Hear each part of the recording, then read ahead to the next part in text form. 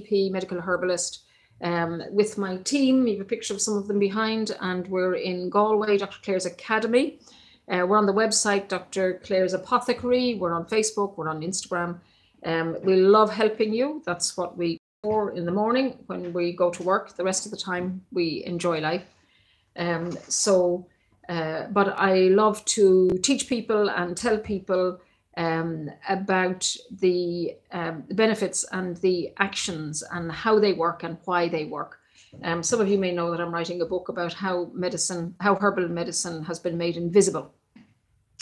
And because it's not in any pharmacy, because it's not all over the place, people think that, oh, well, there must be something a little bit quirky about it. I have to say that herbal medicine is the most stable, regular, orthodox, conservative, traditional, um, uh, a, a universal system of medicine. It's and, and it is that it's a system of medicine. It's not something that has uh, a one herb for this or a one herb for that. Although herbs can be useful used individually, most of the time it's it, it, using herbal medicines means um, uh, using a blend of herbal medicines, uh, making efforts to optimize nutrition, give our bodies the building blocks that they need. Anyway, I'm talking about allergies today. Don't get me on that subject of why herbal medicine has been made invisible, but it is relevant to as to why we don't turn to herbal medicine first, especially for mild to moderate conditions. Um, allergies are one of the one of the groups of conditions that made me think twice when I was only being a GP um, about when surely there must be something better, something um, less uh, harmful, less damping down symptoms, but not really um, truly healing anything. Because, as you know, with the the eye drops and the inhalers, the minute you stop using them, then in fact the, the problem is still there. It hasn't solved any problems. Um, I didn't really believe that herbal medicine would do anything much more than make us more comfortable, which is what I expected of the drugs. Um, but I was pleasantly surprised. So 20 years later, one years later, here I am teaching you um, about using herbs for allergies. So um, the, the analogy is like your immune system on speed. Um, it's an avalanche. Think Niagara Falls. Um, it, the normal proteins and chemicals that we normally eliminate, dampen down, um, manage to not react to in any major way. They actually trigger um, immune reactions, which are designed for things like um, toxins and uh, bacteria and viruses and fungi, like serious stuff. Um, and what's happening is there's a bit of pollen in the air from the plants, and we're behaving like it's a major emergency if we're subject to um, allergens or we eat something like egg or peanuts and it's like oh my god something terrible. The body is, is overreacting in a big way. So it's an overreaction. Um, and we're exposed to these proteins chemicals or substances um, by by touching them by exposure to skin by breathing them in inhaling them by injecting them um, being allergic to a drug which is injected but much more commonly it's an insect that's injected um, uh, stuff which causes these triggers these reactions um, because they they actually work like a, a syringe pump um, or we swallow them um, into our digestive system. Um, one of the major um, mediators of this Niagara Falls of our immune reaction is uh, histamine. And that's a chemical which acts like a neurotransmitter. And it sends messages between cells and it has a ripple like action. So you you throw in the pollen, you throw in the in insect um, uh, protein, um, you throw in a bacteria or a virus, and that's it. Kaboom! You get these ripple effects, um, because it's these reactions spread through sheets of um, uh, of cells, um, like like ripples, um, and that's done partly by the neurotransmitter-like action of histamine. Uh, histamine also affects the sleep wake cycle. So, any of you have severe allergies and you notice that it's very difficult to go to sleep, stay steadily asleep, and wake up refreshed, that's because the histamine interferes with the um, sleep wake cycle. Um, it induces the production of IgE, which usually destroys or creates a, a, a system whereby these allergens are destroyed before they can get deeper into the tissues. So in, in, the immune system is, is designed for one purpose and it's like it gets hijacked. Um, and that hijacked is like a cascade, right? Um, so I'll come back to that maybe because it's like a concept of how herb, we use herbs to manage um, it, rather than just damping down the symptoms. Um, so we've done the goggle wrap sunglasses and the windows closed and the Vaseline. Um, most people grow can grow out of it, um, but it comes back in cycles throughout their life. Um, and in 25% of the industrial world, this is a problem of the industrial world. And the more the uh, relatively unindustrialized worlds get industrialized, the, the problem will spread. Um, whether it's partly to do with the uh, poor eating habits, the introduction of um, uh, foreign foods, whether it's uh, the whatever it is that's associated, the air pollution to do with, and of course, most of our production now is being ex ex exported um, to the uh, less in less industrialized countries. So they'll go through that whole industrial revolution, if you like, um, and they're often the dirty industries.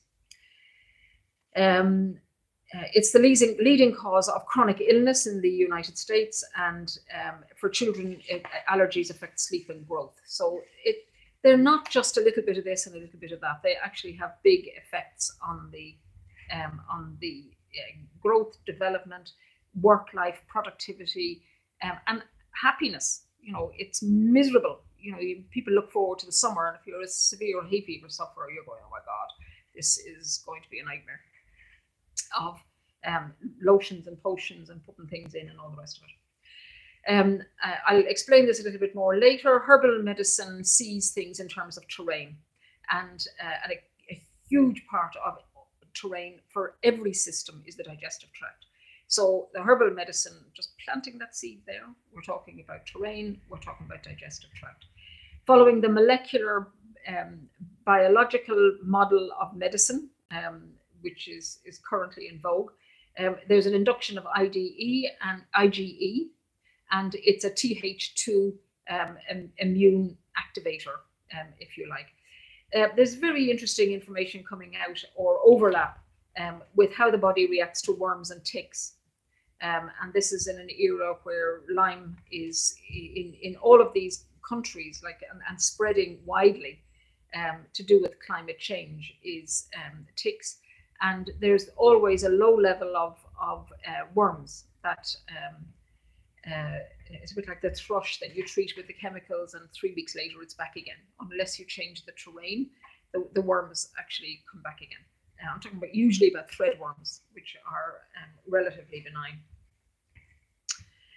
Um, to do with food processing some things are particularly um, uh, implicated uh, and they would be chitin um, sulfites, if you if you buy dried apricots, um, you want to buy the ones that are a dull, dirty-looking brown, not the bright orange ones. The bright orange ones are are um, uh, preserved with with sulfites and uh, histamine. Histamine has more got to do with what foods are fresh, um, leftovers, um, uh, fish that's not nearly straight out of the ocean or not flash dried. Um, so you might want to look if you've got very severe allergies, you might want to look into those, and you might want to make an appointment with a nutritionist um, for specialist advice. We do have a, a, a, leaflet on histamine. If you give us a ring, histamine foods, um, we can let you know how to access that or email it to you. The allergy system affects um, uh, COX uh, receptors, arachidonic acid pathways, prostaglandins, and interleukins. So now you know that I'm very clever. You know your doctor is very clever. You know the drugs are very clever, um, but they're molecules, um, and they they if you block those theoretical um, areas that these agents block, um, the one thing that's not asked is where do the if you if you put up a roadblock, you'll get a, a backlog of cars, and they disperse through various diversions. So where do they go? According to the laws of natural physics, they don't just disappear, they don't evaporate. So there's whole questions, um, fundamental questions about where these go. Whereas the terrain looks at how boggy, how hot, um, how uh, how much lymph flow there is, how much cleansing, um, and how much liver is is a, is is is working very well in terms of clearing old stuff, how uh, active the digestive juices are. But it's basically how clear the stroma or the interstitial um, fluid, extracellular fluid, um, how it drains into the lymph, how it's collected, and how all of those that material is excreted in the bile and in the poo. So one very good tip is to increase the fiber in your diet and eat bitter foods.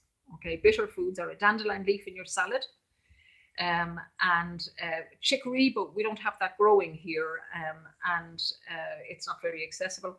Um, so, what other bitter herbs um, that are accessible? Our native bitters are um, bog bean and gentian, um, but don't go digging up the gentian in the Burren, please. It's a protected species.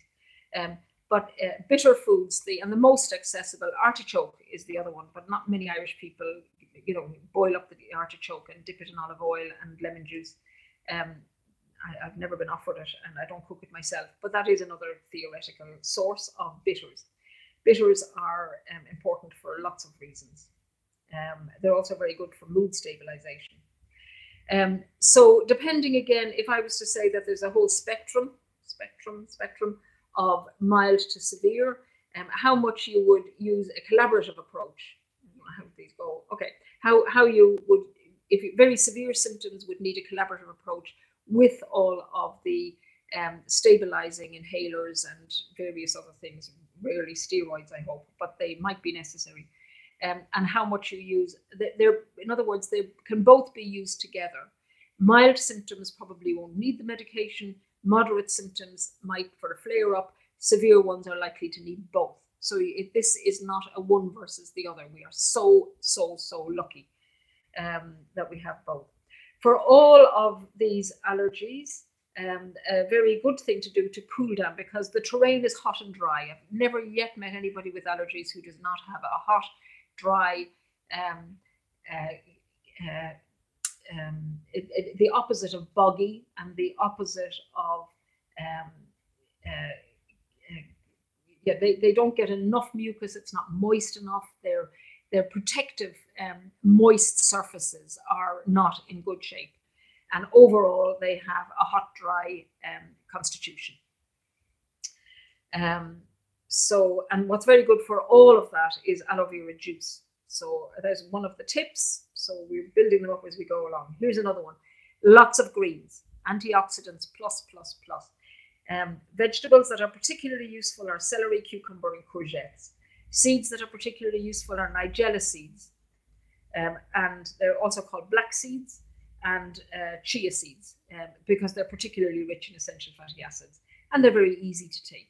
Um, uh, and if you want to choose a, a tea um, to have in the office or whatever, a, a, good quality green tea tea bag is very helpful.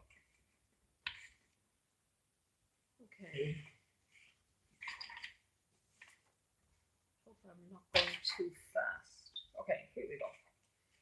So the um, we've got the terrain, and now we've got, if we have a hot, dry terrain with a flooding immune system, what kind of actions might we like from herbs used as a soup, so a blend of herbs, might want to be used, what, what actions might we want in a blend of herbs? Um, and this is the blend of herbs um, that I'll be describing. It's called Allertone. Now, this is the one that I've put together um, not on my own recognizance. These are herbs that have been used, that have a logic, that sit very nicely together, make a very nice soup. It's like having, you know, do I have a, a, a, a patent or a copyright on my particular version of vegetable soup? No, I don't. This is this is relates to um, herbals and herbalists and my own experience um, over the, the last 21 years um, and those of my teachers um, and uh, reading books and and, and what's available and allowable to to be um, put forward as a as a nutritious food supplement. Okay, so this is a nutritious food supplement. There's no medical claims. There are just actions on the body in the same way that if you eat cabbage, it has actions on the body. Um, if you take green tea, it has actions which are helpful for a hot, dry constitution. So that's the context of them. So um, the uh, actions that I'm looking for are an anti-inflammatory action. That makes sense. Bitters. Um, bitters line the tongue, and the more bitters you take, the less um, sugar sweet receptors you will have because they interplay. It's actually which ones you use that create the demand for the the food sensation receptors. Um, so you can change from sweet to a bitter, um, and uh, they they have a very calming effect on the autonomic nervous system, all the way through to digestive tract. Um, this works along the lines of the polyvagal vagal theory, it is a theory, but I find it explains an awful lot and works very well for my patients. Um, we want herbs that will promote healthy digestion. We want herbs that are renowned over the centuries for anti-allergy benefits. Um, we want to restore the mucous membranes. One of the reasons for doing this at this time of the year, before we get to the, the, the June flood of um, antihistamines um, and uh, hay fever, is that um, if we restore the mucous membrane um, optimum nutrition and function for the next four or five weeks, you will um, actually have less of these allergic cascades because your barriers in lining your your digestion and all the rest of it will be um, in better shape. So they'll be less. There'll be a higher threshold for them for triggering the immune system. So, and the herbs that I have in here, I don't mind if you get these ones, whether you grow them in the garden, whether you put them in your teapot from your own resources, um, get them individually. I really don't mind. But in a, in a short term um, uh, uh, kind of tutorial like this, it's just the most convenient way that I've done them for convenience for the staff because um, they can't be making up individual bottles for everybody who comes in. And that's how it all originated. So there's two main ways of doing that. One is there's um, a, series of tea sachets, and one of them is called React, because um, these are reactions to allergens. And in each packet, there is 14 tea sachets. Each of these tea sachets has three teaspoons, which is one day's supply. And you put them either in your tall sippy cup um, or a flask or a teapot. You can mix them with a pint of water, a litre of water, um, a, a, a, big tumbler of water. Um, you and then you take a third three times a day. You can keep them at room temperature and add boiling water to make a mug full. You can make them in a very small amount, pour out a bit, add boiling water to dilute it to make it a regular cup, cup of tea. Um, and what's in this is, and then you just throw away the tea. But you you have to do the work yourself. And if I'm asking people to do this for four to five months over the summer, I just find the compliance with this makes it well worth recommending. I actually pay somebody to come in and make these tea bags for you. Um, so there is an extra cost involved to cover that um, that that work. Um, so what's in these is plantago leaf and marigold. Um, so going back to, we keep in mind our list of, of actions that we want to um, uh, keep in mind. Now, this React Tea, I, I have designed, nature has designed these to boost boost the um, uh, mucous membrane barriers um, and restore and be um, keep keep everything in, in good shape so that you're in the best place possible to resist um, allergens. So Plantago is digestive, cooling, um, a, a, demulcent. It's a moistening um, agent for the, the stomach and the mucous membranes. So it's a restorative and a nutritive for the mucous membranes. Chamomile is a nervine and anti-allergy. Elderflower is restoring mucous membranes. It also has a relaxing effect on the muscles. Nettle leaf restores um, histamine in the blood. When you flood with um, histamine release. It leaves your blood very deficient in histamine. Took me a long time to realize this because there, it, it is a, a histamine um, uh, rich um, effect. And um, really thought, how can that be if it, it, it's a different supply of histamine than leftover foods, um, which is a putrefaction thing. Um, but it wasn't until I read about the histamine depletion in the blood that I thought, all right, now that makes sense. Because if you're in the height of the hay fever season in particular, then you want to constantly replenish that so that it's because it's, it's, it stabilizes. Um, it, it's, it's part of a stable immune system. Um, and the last one is marigold, which is anti-inflammatory, antimicrobial, and very good for lymph drainage. Um, so I, I, did say that stress, um, if you look at the whole field, which is emerging of psychoneuroimmunal medicine, we are coming closer. That's the closest that the um, regular medical system has to in coming to how to describe the terrain. So the, the further we actually go down all of these biochemistry metabolic systems, the more we realize how connected they are. And if there's one thing that herbal medicine um, encourages, it's connections. Um, and using them as a blend of actions uh, really improves that. Um, so that's the React tea. So how do you use the tea in the tincture? I would say to people who have allergies, whether it's asthma, eczema, that the React tea is a less expensive way of keeping the stabilizers stable and optimally nourished. And then the Allertone is for, for when the allergy is manifesting as uh, as as problems, you know, whether it's urticaria or um, hay fever or asthma, or if it's if it's flaring up because you're stressed, not eating well. There's always a reason, you know. The body never lies um, is a book by Gabor Mate, and it's along those lines that our symptoms are actually expressing where the balance is has been has lost its thread in in the body. So our symptoms are very valuable, but we have to treat them with honor.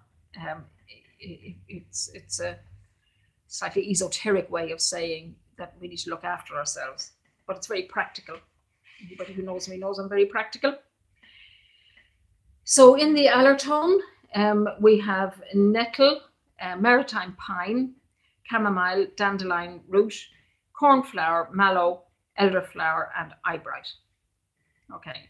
Now, anybody who knows about herbs reads these and they kind of go, oh, wow, that's, that'll do the job. Okay. But I'll go through why it'll do the job.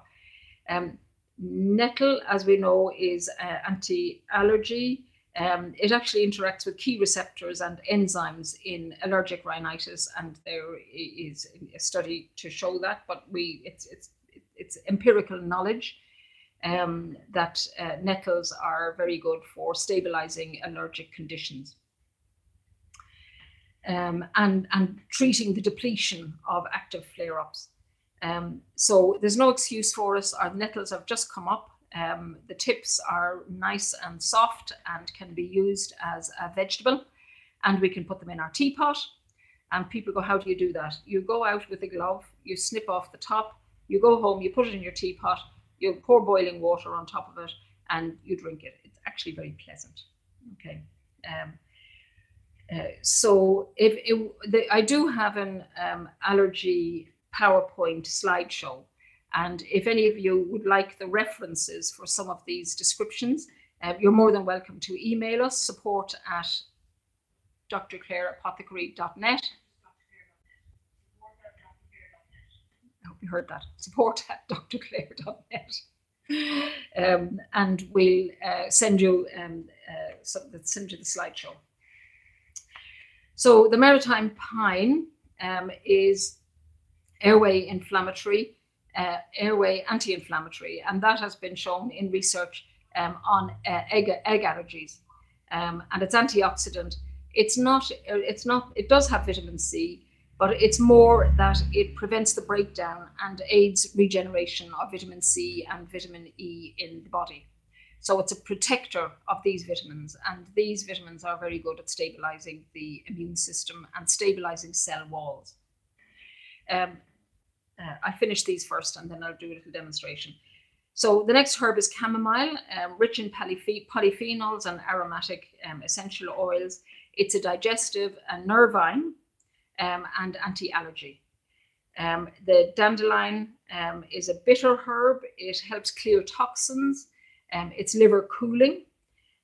Traditional uh, used traditionally used to, to, as an alterative to clear an overburdened system as a cleansing herb, um, and it's very good for people with a hot constitution. Um, uh, and you probably all recognize people with a hot constitution just by describing them, um, uh, just by that description.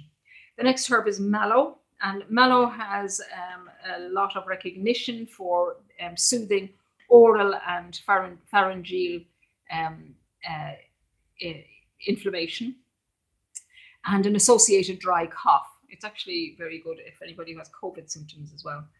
Um, and it's rich in polysaccharides, which are very good for the immune system. And then we have cornflower, no, uh, eyebright before cornflower.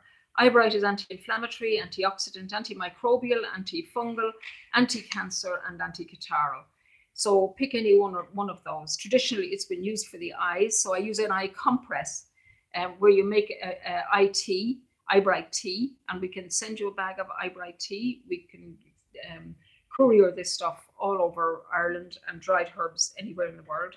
So eyebright, you make a tea, and then you use one of the, you know, the um, uh, makeup removers, the little pads, dip it in the uh, warm tea. Um, please don't use boiling hot tea and then put it over the eyes as eye pads.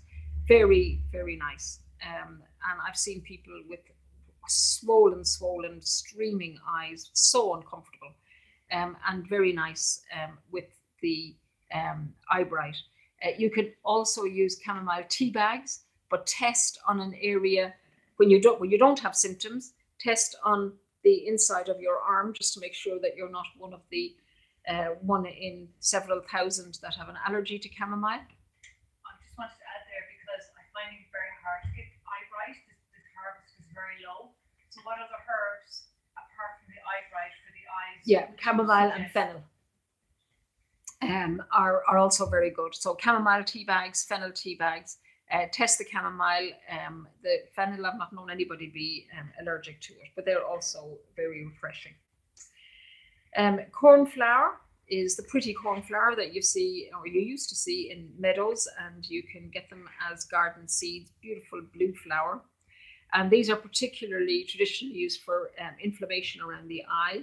They're anti inflammatory, again, rich in polysaccharides and polyphenols, are classic of all of these herbs that are rich um, in support for the immune system. Um, and it seems to work by the complement um, activities, which is a whole enzyme system. It's it's not an ego boosting com- um, complement. um, so that's the they're, they're, the two kind of main groups of herbs with slight overlap. It's the React tea and the Allertone blend, and I've gone through all the different herbs. Um, and if, please please do your own homework. Look what's in your garden, um, in your hedgerows. Learn how to forage these herbs. I'm all in favour of that. Make your own tinctures, make your own balms, make make everything. Um, I would say um, that's very suitable for mild to moderate. If you have moderate to severe, or, even just moderate, um, please come and see us. We can now do Zoom calls and um, and look after you because it usually takes a much more comprehensive system. Um, uh, and, and careful attention to nutrition um, if, if somebody has severe allergies. Okay, so, um, but even if you have severe allergies and you don't want to do that, using these herbs will, will help, but you might not get to a threshold where it's recognizable by you and you might be tempted to think, oh, those herbs are useless. And it's just that you need um, a more comprehensive support system um, of what you're doing every day and you might need stronger herbs. There are stronger herbs that we clearly don't use over the counter, but would be available to us. I'm looking at 150 herbs over there and another 80 dried herbs. So there are herbs that would be um, be stronger for people with severe symptoms. Um, and seeing a herbalist com- comprises um, the, the history, drawing together the history, creating a narrative, um, reviewing nutrition, um, in an overview. Um, if it's much more complicated, we work with Tara, who's also my technical assistant here tonight, um, and Michelle, uh, also do nutrition appointments, and they're specialists in the subject. Okay, back to more general. Um, I said I would do. Oh yes, because um, you, you can't write this. This is this is a visual effect. If you if you look at uh, usual cells like this,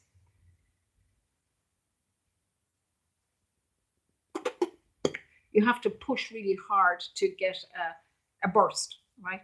Whereas the, the terrain of people with allergies are that the, the systems of robustness have are, are not properly integrated so that they're like this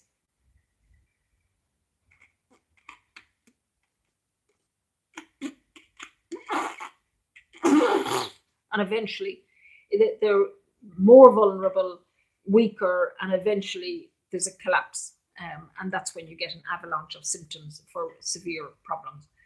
Um, so I, don't know if you can take anything from that, but that's I work as a visual learner, and that's something that um, I would take away with me. Air filters um, are they if you're particularly if particularly is a problem inhaling um, allergens um, you might want to look into air filters. Like everything else, there's um, an individual effect. Some people swear by them, some of them don't.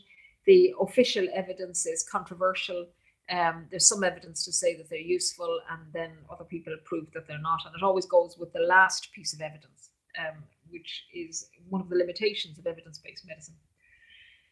So, but if you are thinking of getting an air filter, find out what types of allergens um, that they particularly filter and whether that matches your profile. Um, make sure that the air purifier is ozone free if you have asthma, as some of, of these can aggravate asthma if they release um, uh, ozone. Some of them have a, a low um, intensity noise, which some people find um, too annoying to actually make it useful you know, it might be useful as an air purifier, but they can't tolerate the noise. Um, and uh, ask if you can have the use of one for a trial period, um, and your money will be replaced if you're not happy or whatever the arrangement is. And don't expect it to work forever without cleaning and repairing, replacing the filters. Um, and to make sure that you reduce overall, you if you suffer from allergies, let me just see if I'm really great. Um, overall, if you suffer from allergies, you want to make your environment as pollution free as possible. As I said to you, the 63% of allergists in response to a questionnaire with a good response rate um, thought that uh, climate change and environmental pollutants were aggravating the, their patients with allergies and increasing the, the, the number of people experiencing allergy, allergies. Um, so you want to reduce all of the allergens in your environment. You want to reduce the amount of strange stuff that your body is exposed to.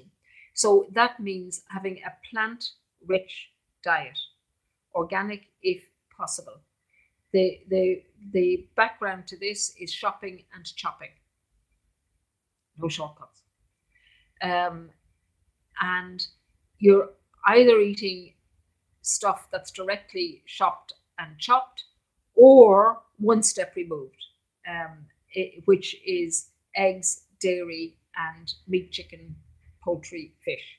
So there, there's nothing between um, uh, what you put on your plate, what goes back to what walked on two legs or four legs or came from it, and the plants. So the plants are the key they are the ones that transfer the sun's energy into energy which is accessible to us with a complement of vitamins and minerals. The organic is because not because it tastes better, not because it's more expensive and you know the posh thing to do. It's more because of what's not in it if you have allergies. What's not in it is agrochemicals. You can't see them, you can't taste them, so they might taste the same. Um, if you're buying organic chicken, you can please eat the skin and make um, chicken broth from the carcass. So you're you're actually ending up getting a lot of food, a lot of calories. Um, fat is not bad for good good fat from our organic chicken is not to be thrown away. In other words, I have no fear of fat in the diet. It actually is helpful. In particular, I said about the courgettes, cucumber, and, and you know, there's no there's no need to guess why. If I was to say to you which is more um, laden for an overburdened system, would it be a turnip or would it be a courgette or would it be a, a, a carrot or a cucumber? Okay, so the the turnip and carrot are much more dense, um, and the cucumber and courgette and celery, huge fan of celery. Um, so you and you, I do slow pot cooking twice a week, and that I don't spend a huge amount of time in the Um, uh, the next important thing is the essential fatty acids, oily fish, nuts and seeds, and avocado. And again, we can send you, if you haven't already got it from us, because it's a very strong recommendation for just a healthy life and good sleeping, um, oily fish, nuts and seeds, and avocado. Um, and that can include um, or, um, smoked salmon or tinned salmon. Um, and pink is as good as red. You don't have to be rich for this. In fact, you save a fortune, okay, by doing this. Right, let's see. Does anybody have any questions? and if any of you want to nip away, off you go. No, any any questions, anybody? Um, oh, you're all very quiet tonight. Um, so other than that, um, I think that's most of what I want to say. Um, and you've all been great. It's been um, an hour and 10 minutes, so I think that's loads of time to take up on a beautiful evening like this. Um, so, and for those of you who catch up later, um, I hope you enjoy it. And yeah, we'll say good night and goodbye, and we'll head off and go for our walks ourselves, won't we, Tara? Okay, bye.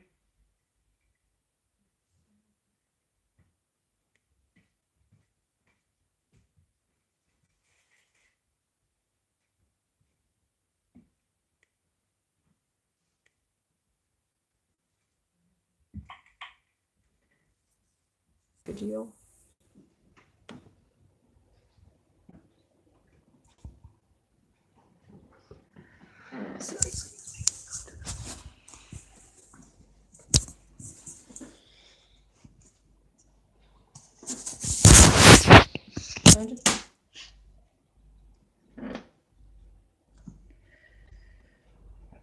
It's, it's up in the top. Oh, okay.